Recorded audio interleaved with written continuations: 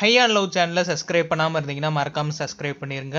இன்ஸ்டாகிராம்ல அவரோட ப்ரொஃபைல status update பண்ணிருக்காரு. ஸ்டேட்டஸ்ல கவின் அப்லோட் பண்ணிருக்க போட்டோவை பாத்தீங்கன்னா கவின் அவரோட ஃப்ரெண்ட் கூட நல்லா ஜாலியா டைம் ஸ்பெண்ட் பண்றாரு. கவின் அப்லோட் பண்ணிருக்க போட்டோ இன்னைக்கு எடுத்ததா இல்ல இதுக்கு முன்னாடி எடுத்ததான்னு தெரியல. But photos capture happy moments சொல்லுவாங்க. அது மாதிரி கவினை அவர் ஃப்ரெண்ட்ஸ் கூட பாக்குறப்ப அந்த ஹாப்பியான மொமெண்ட்ஸ் பாத்தீங்கன்னா அவங்களோட ஃபேஸ் எல்லாத்துலயுமே தெரியுது. போட்டோல எல்லாருமே பாத்தீங்கன்னா பயங்கர ஹாப்பியா இருக்காங்க. முக்கியமா கவினும் ரொம்ப சந்தோஷமா இருக்காரு. இந்த போட்டோக்கு கவின் ஒரே ஒரு ஹார்ட் எமோஜில சிம்பிளா எல்லாத்தையுமே சொல்லிட்டாரு. அண்ட் கவின் இப்ப ரீசெண்டா அவரோட க்ளோஸ் ஃப்ரெண்டான பிரதர் ஆன சதீஷ்க்கு ஹாப்பி பர்த்டேவும் விஷ் பண்ணிருக்காரு அவரோட ஸ்டேட்டஸ்ல லோஸ்லியாவும் இன்னைக்கு அவங்களோட ப்ரொஃபைல்ல போட்டோ அப்லோட் பண்ணிருக்காங்க இந்த போட்டோஸ் எல்லாமே லோஸ்லியா பொங்கல் அன்னைக்கு பொள்ளாச்சில எடுத்த போட்டோஸ் இந்த போட்டோஸ் எல்லாத்துக்குமே கேப்ஷனும் மென்ஷன் பண்ணிருக்காங்க கேப்ஷன்ல என்ன மென்ஷன் பண்ணிருக்காங்கன்னு பாத்தீங்கன்னா spread happiness and sparkle with positive vibes சொல்லிட்டு மென்ஷன் பண்ணிருக்காங்க சந்தோஷத்தை வெளிப்படுத்துங்க பாசிட்டிவ் வைப்ஸ் எல்லாத்துக்குமே கொடுங்கன்னு சொல்லி தான் அர்த்தம். லோஸ்லியா இந்த ஃபங்க்ஷன் அட்டன் பண்றப்ப அவங்களோட மூவி அப்டேட்னா ஒரு சில வாரத்துல வந்துரும் சொல்லியிருந்தாங்க. இப்போ ஃபேன்ஸ் எல்லாருமே அதுக்காண்டி வெயிட் பண்ணிட்டு இருக்காங்க.